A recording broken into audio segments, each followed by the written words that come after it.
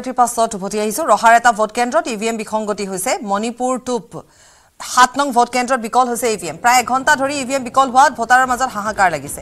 ইফালে প্ৰখৰ ৰ'দ তাৰ মাজত ৰাইজৰ হাৰাশাস্তি।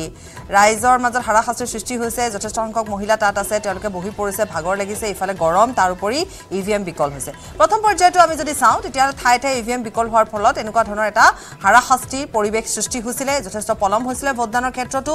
পাঁচ বজাত যিহেতু প্ৰক্ৰিয়া শেষ হ'ব লাগিছিলে কিন্তু সেয়া দীঘলীয়া হৈ পৰিছিলে নিশালৈকে ভোটদান চলি আছিলে। আজিও এই মুহূৰ্তৰ যিটো খবৰ আমি জনাইছোঁ প্ৰায় এঘণ্টা ধৰি ই ভি এম বিকল হোৱাৰ ফলত এতিয়া ৰাইজৰ মাজত এক হাহাকাৰ পৰিস্থিতিৰ উদ্ভৱ হৈছে। ইফালে প্ৰখৰ ৰ'দ তাৰ মাজত ই ভি এম বিকল।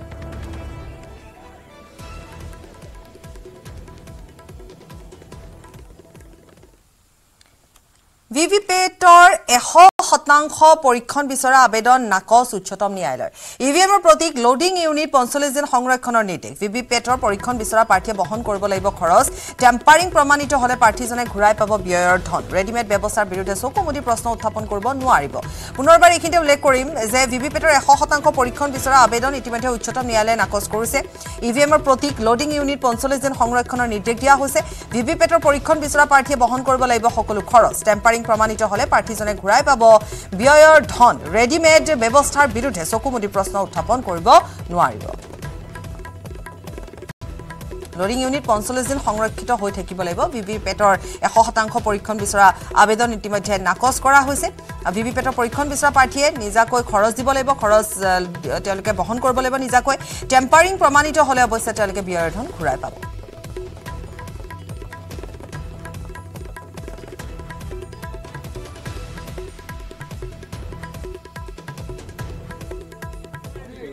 ये भाई आकिल। ईवीएम जो हैं इनमें एक प्रोग्रामेबल मेमोरी होती है क्योंकि सिंबल लोडिंग करी जाती है और इसलिए इनको मैनिपुलेट किया जा सकता है अगर आप कोई उसमें मेलिशस प्रोग्राम डाल दें। सुप्रीम कोर्ट ने ये सारी हमारी मांगे को ठुकरा दिया है और ये बोला है कि अच्छा इलेक्शन कमीशन इसको एग्जामिन करे कि सारे बैलेट पेपर्स पर अगर हम वो डाल दें मार्क उस पर मार्क डाल दें जो जिसको बार कोड जिसको कहते हैं बा, बार कोड डाल दें तो उसकी फिर मैकेनिकली मशीन से काउंटिंग हो सकती है कि नहीं इसको एग्जामिन करें। और दूसरा उन्होंने ये बोला है कि सिंबल लोडिंग यूनिट जो होती है जिससे symbol loading constituency by constituency करी जाती है उसको कम से कम 45 दिन तक चुनाव सील करके रखा जाए और चुनाव के बाद कम से कम 45 दिन तक रखा जाए जिससे कि अगर कोई इलेक्शन पिटिशन फ़ाइल होती है कोई उसकी अ, कोर्ट मांग करता है तो उसको देखा जा सके। तीसरी बात उन्होंने ये बोली है कि जो इसमें इलेक्शन कमीशन ने बोला कि नहीं, इसमें जो मेमोरी होती है, वो तो चिप में बर्नट होती है। और तो कोर्ट ने ये बोला है कि जो भी बर्नट मेमोरी है, उसमें पाँच, हर असेंबली कंस्टिट्युएंसी में पाँच V V PAT sorry E V M units की बर्नट मेमोरी को एग्जामिन करने का नंबर टू या नंबर थ्री कैंडिडेट दरखास्त दे सकता है और उसको फिर एक टेक्निकल टीम एग्जामिन करेगी, लेकिन उसका खर्चा उस कैंडिडेट को देना होगा जो उसकी मांग करता है ये कह के उन्होंने ये सारी पिटिशन डिस्पोज ऑफ कर दी উৰিষ্যাৰ বলুকা ভাস্কৰ্য সুদৰ্শন পাটনায়কৰ আহ, প্ৰশংসনীয় পদক্ষেপ উৰিষ্যাৰ বলুকা ভাস্কৰ্য শিল্পী সুদৰ্শন পাটনায়কৰ প্ৰশংসনীয় পদক্ষেপ। পুৰীৰ সাগৰ তীৰত বলুকা ভাস্কৰ্য শিল্পীগৰাকীয়ে নিৰ্মাণ কৰিলে বিশেষ ভাস্কৰ্য। দেশত অনুষ্ঠিত হৈ থকা লোকসভা নিৰ্বাচন উপলক্ষে ভোটাৰসকলক সজাগ কৰিবলৈ তেওঁ নিৰ্মাণ কৰিছে বলুকা ভাস্কৰ্য। মাই ভোট মাই ডিউটি শীৰ্ষক এই ভাস্কৰ্যই দৃষ্টি আকৰ্ষণ কৰিছে সকলোৰে। দেখুৱাইছোঁ আমি মাই ভোট মাই ডিউটি এনেধৰণে তেওঁ সকলো ভোটাৰ ৰাইজৰ দৃষ্টি আকৰ্ষণ কৰিবলৈ সক্ষম হৈছে। আৰু যি শিল্প তেওঁ যি ভাস্কৰ্য শিল্প তেওঁ তাত তাত কৰিছে তাত এ, চুনাৱ কা পৰ্ব গৰ্ভ এনেধৰণে তেওঁ লিখিছে। চুনাৱ কা পৰ্ব দেশ কা গৰ্ভ তেনেধৰণে লিখিছে। My vote my duty. তাৰোপৰি কেনেধৰণে ভোট দান কৰিব লাগিব সেই গোটেইখিনি তেওঁ এনেধৰণে প্ৰতীকী স্বৰূপত খুব সুন্দৰভাৱেৰে তেওঁ এনেধৰণে এই এক সজাগতাৰ তেওঁ সৃষ্টি কৰিবৰ বাবে এই শিল্পকৰ্ম তাত কৰিছে। আমি দেখুৱাই গৈছোঁ খুব সুন্দৰভাৱেৰে তেওঁ এই কাৰ্য সমাপন কৰিছে। এগৰাকী ভাস্কৰ্য শিল্পী আৰু প্ৰায় তেওঁ এনেধৰণৰ যি ধৰণৰ শিল্প তেওঁৰ সেই শিল্পৰে তেওঁ প্ৰায়ে সকলোৰে দৃষ্টি আকৰ্ষণ কৰিবলৈ সক্ষম হৈছে। আৰু এইবাৰ তেওঁ যিটো বাৰ্তা দিছে ভোটদাতাসকলক সজাগতাৰ বাবে তেওঁ সেই বাৰ্তা দিছে।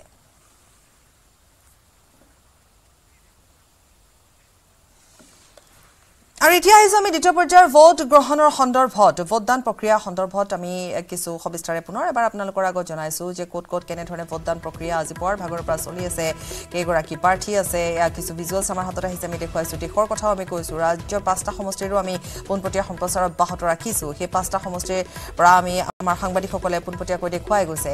আৰু বিশেষকৈ আমি যিহেতু অন্য আমি দেশৰ ঠাই বিভিন্ন ঠাইৰ পৰাও আমি জনাই গৈছোঁ ভোটদান পুৱাৰ ভাগৰ পৰা চলি আছে। প্ৰতিটো সমষ্টিৰ পৰা আমাৰ নন ষ্টপ লাইভ আমি দেখুৱাই গৈছোঁ। কিছু ভিজুৱেলছ আমাৰ হাতত আপডেটেড ভিজুৱেলছ আহিছে সেয়াও আমি দেখুৱাই গৈছোঁ। গতিকে দ্বিতীয় পৰ্যায়ৰ ভোট গ্ৰহণৰ সবিশেষ এয়া। তাৰ মাজে মাজে ভাষ্যসমূহো আছে গতিকে সেই ভাষ্যসমূহো আমি আগবঢ়াম। প্ৰাৰ্থীসকলৰে হওক বা দলীয় যিসকল হাই প্ৰফাইল নেতা আছে তেওঁলোকৰে হওক বা কেনেকৈ তেওঁলোকে আশা কৰিছে বা আশাপ্ৰদকভাৱে তেওঁলোকৰ মতে হৈছেনে নাই এই গোটেইবোৰ। যেনেকৈ উত্তৰ প্ৰদেশৰ কথাও আমি ক'ম পশ্চিমবংগৰ তিনিটা সমষ্টি দ্বিতীয় পৰ্যায়ৰ ভোট গ্ৰহণ হৈ আছে। ৰাইজ আহিছে ভোট দিছে পুৱাৰ ভাগৰ পৰা দীঘলীয়া শাৰী দেখিবলৈ পোৱা গৈছে। তেৰখন ৰাজ্যৰ অষ্টাশীটা লোকসভা সমষ্টি দ্বিতীয় পৰ্যায়ৰ ভোট গ্ৰহণ আৰু এহেজাৰ দুশ দুগৰাকী প্ৰাৰ্থীৰ আজি ভাগ্য নিৰ্ধাৰণ হ'ব। ভিজুৱেলছ দেখুৱাইছোঁ। এয়া যি- সময়ছোৱাত ভোট কেন্দ্ৰসমূহত উপস্থিত হৈছে ভোট দান কৰিছে তাৰ পৰা ওলাই গৈছে। পুৱাৰ ভাগতে সাত বজাৰ লগে লগে যিহেতু ভোটদান আৰম্ভ হৈছে গতিকে তেতিয়াৰে পৰা এনেকৈ ভোট দিয়া দেখিবলৈ পোৱা গৈছে আৰু তাৰপিছতে ৰাইজৰ মাজলৈ আহিছে সাংবাদিকৰ ওচৰলৈ আহিছে। আৰু এই গোটেইকেইটা দিনত যেনেধৰণে প্ৰচাৰ চলাব লাগিছিল ঠিক তেনেধৰণে প্ৰচাৰ চলোৱাৰ পিছতে আজি তেওঁলোকে নিজৰ নিজৰ ভোট দিছে তাৰোপৰি এতিয়া তেওঁলোকে সেই অপেক্ষা কৰিব লাগিব কাৰণ ইয়াৰ পিছত আছে ভোট গণনা আৰু তেওঁলোকৰ ভাগ্য নিৰ্ণয় তেতিয়া হ'ব। আজি ৰাইজৰ দিন ৰাইজ ওলাই আহিছে ৰাইজে ভোটদান কৰিছে। নেতাসকল যিসকল তেওঁলোক যিসকল প্ৰাৰ্থী আছে তেওঁলোকৰ তাৰ ভিতৰত শশী থাৰুৰক দেখিবলৈ পোৱা গৈছে। তেওঁ পুৱাৰ ভাগৰে পৰা তেওঁ সপ্ৰতিভ ৰূপত আছে। সংবাদ মাধ্যমক তেওঁ প্ৰায় প্ৰতিটো প্ৰশ্নৰ উত্তৰ তেওঁ দি গৈছে। তিৰুৱন্তপুৰমৰ পৰা তেওঁ যিহেতু প্ৰাৰ্থিত্ব লাভ কৰিছে শশী থাৰুৰে ঠিক তেনেধৰণে আমি দেখুৱাই গৈছোঁ যে যিসকল নেতা হাই প্ৰফাইল নেতা আহিছে এয়া বসুন্ধৰা যে তেওঁ ভোট দিছে এয়া হৈছে দেশৰ এক ছবি দেশৰ এক ছবি আমি দেখুৱাই গৈছোঁ। ইয়াৰ পিছত আমি ৰাজ্যৰ ছবি দেখুৱাম পাঁচটা সমষ্টিৰ য'ত দেখিবলৈ পোৱা গৈছে প্ৰদ্যুৎ বৰদলৈ ভোট দিছে পুৱাৰ ভাগতে সুৰেশ বৰাই অৱশ্যে কিছু পলমকৈ ভোট দিছে তেওঁ কৈছে যে তেওঁ পূজা অৰ্চনা কৰি বা মহামৃত্যুঞ্জয় মন্দিৰলৈ গৈ তেওঁ তেওঁ আহি ভোটদান দিছে। গতিকে ৰাজ্যৰো আমি দৃশ্য দেখুৱাই যাম। এয়া এগৰ দেখিবলৈ পোৱা গৈছে কিছু অন্য ছবি দৰা তেওঁৰ আজি বিবাহ তেওঁ দৰা হৈ আহিয়ে দৰাৰ সাজতে তেওঁ ভোট দিছেহি। সকলোৱে দৃষ্টি আকৰ্ষণ কৰিছে তেওঁ বিশেষকৈ মিডিয়াৰ দৃষ্টি আকৰ্ষণ কৰিছে। প্ৰায় আমি দেখোঁ প্ৰায় অসমতো তেনেকুৱা হয় যে জোৰোণৰ দিনাখনে যদি ভোট পৰে আমি ইয়াৰ পূৰ্বতো দেখিবলৈ পাইছিলোঁ দৰা কইনা একেলগে আহি ভোট দিছিলে। এয়া এগৰাকী দৰা তেওঁ ভোট দিবলৈ আহিছে। নিজৰ যি ভোটাধিকাৰ তেওঁ সেয়া সাব্যস্ত কৰিছে। যিহেতু তেওঁৰ অধিকাৰ সেয়া সেই অধিকাৰ সাব্যস্ত কৰিবৰ বাবে তেওঁ এনেধৰণে দৰাৰ সাজেৰে ওলাই আহিছে।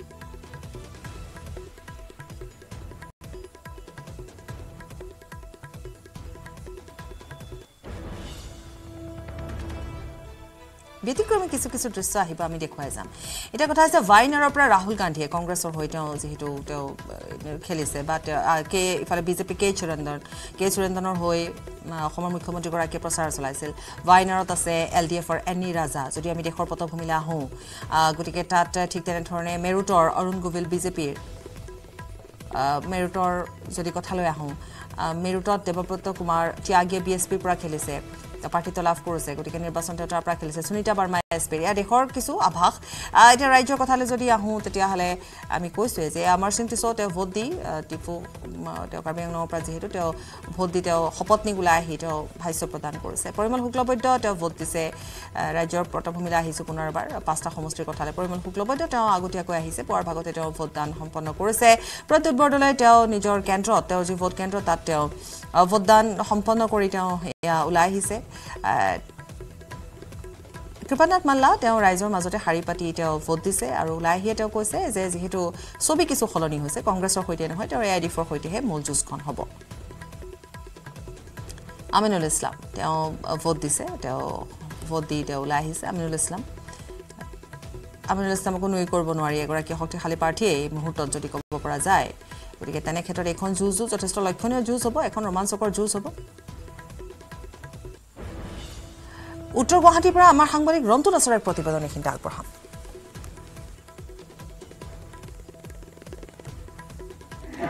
আৰু দ্বিতীয় পৰ্যায়ৰ ভোটগ্ৰহণ আৰু দ্বিতীয় পৰ্যায়ৰ ভোটগ্ৰহণত ভোটদানৰ বাবে ভোটাৰসকল আগ্ৰহী হৈ পৰিছে আৰু পৰে পৰা ভোটগ্ৰহণ কেন্দ্ৰসমূহত শাৰী পতা দেখা গৈছে আৰু মই উপস্থিত আছো দৰং ওদালগুৰি সমষ্টিৰ উত্তৰ গুৱাহাটী ৰংমহলৰ এটা ভোটগ্ৰহণ কেন্দ্ৰত আৰু এনেদৰে ভোটগ্ৰহণ কেন্দ্ৰত পৰে পৰা শাৰী পাতিছে ভোটাৰসকলে তেওঁলোকৰ গণতান্ত্ৰিক অধিকাৰ সাব্যস্ত কৰাৰ কাৰণে আৰু এনেদৰে দীঘলীয়া শাৰী দেখা গৈছে উত্তৰ গুৱাহাটী ৰংমহল হাইস্কুলত তেওঁলোকৰ গণতান্ত্ৰিক অধিকাৰ সাব্যস্ত কৰাৰ কাৰণে আৰু এনেদৰে এই ভোটগ্ৰহণ কেন্দ্ৰত প্ৰায় সোতৰশৰো অধিক ভোট আছে আৰু ভোটাৰসকলে এনেদৰে শাৰী পাতিছে শৃংখলাবদ্ধভাৱে যাতে তেওঁলোকৰ অধিকাৰ সাব্যস্ত কৰিব পাৰে। আৰু পোনে পোনে আমি ভোটগ্ৰহণ কেন্দ্ৰত দেখুৱাবলৈ ওলাইছোঁ। আৰু এনেদৰে ভোটদান প্ৰক্ৰিয়া আৰম্ভ হৈছে আৰু এইবাৰ জালুকবাৰী সমষ্টিত ভোটগ্ৰহণ কেন্দ্ৰত আচলতে জালুকবাৰী সমষ্টিটোত তিনিটা সমষ্টিয়ে সামৰিছে বৰপেটা গুৱাহাটী আৰু দৰং ওদালগুৰি সমষ্টি। আৰু এইবাৰ ৰংমহল উত্তৰ গুৱাহাটী এটা অংশ ৰংমহল দৰং ওদালগুৰি সমষ্টিৰ অন্তৰ্ভুক্ত হৈছে আৰু মোৰ সতীৰ্থ পোনে পোনে ইয়াত দেখুৱাই আছে। উত্তৰ গুৱাহাটী ৰংমহলৰ ভোটগ্ৰহণ কেন্দ্ৰৰ পৰা আৰু আমি কিছু আগলৈ যাম। এটা দীঘলীয়া শাৰী দেখা গৈছে। আমাৰ মোৰ সতীৰ্থই দেখুৱাইছে এনেদৰে। তেওঁলোকে তেওঁলোকৰ অধিকাৰ সাব্যস্ত কৰিব এইবাৰ প্ৰথমবাৰৰ বাবে ভোটদান কৰিব তিনিবাৰ হ'ল। এইটো এটা গণতান্ত্ৰিক অধিকাৰ আৰু এই অধিকাৰ সাব্যস্ত কৰিব কেনেকুৱা লাগিছে? ভালে লাগিছে। এইটো যিহেতুকে প্ৰত্যেক প্ৰত্যেকজন নাগৰিকৰে অধিকাৰ। গতিকে ভোটদান কৰিবই লাগিব। সেইকাৰণে ৰাতিপুৱা আহিছোঁ আৰু। এইবাৰ যি তোমালোকৰ পাৰ্টি চিলেকশ্যনৰ ক্ষেত্ৰত কিবা পৰিৱৰ্তন হ'ব? পৰিৱৰ্তন মানে তেনেকুৱাতো ক'ব নোৱাৰোঁ। হয়। নতুন সমষ্টি। হয়। আহ, কেনেকুৱা ভালে লাগিছে আৰু। কিমান সময় বা শাৰী পাতিলে ইয়াত? সাতটাৰ পৰা আছো আমি। হয়। কিমান সময় শাৰী পাতিলে বাৰু? সাতটা বজাত পাইছোঁ। সাতটা বজাৰ পৰা। আহ, গণতান্ত্ৰিক অধিকাৰ সাব্যস্ত কৰিব আৰু এইবাৰ নতুন সমষ্টি। হয়। কোনো ভালেই হ'ব আগতে যেনেকৈ কাম কৰিছিল তেনেকৈ কাম কৰিব বুলি আশা থাকিল এনেদৰে পুৱাৰে পৰা শাৰী পাতিছে। প্ৰায় সোতৰশ ভোট আছে উত্তৰ গুৱাহাটী ৰংমহল এই ভোট কেন্দ্ৰত আৰু পুৱাৰে পৰা এনেদৰে ভোটাৰসকলে তেওঁলোকৰ অধিকাৰ সাব্যস্তৰ কাৰণে দীঘলীয়া শাৰী পাতিছে।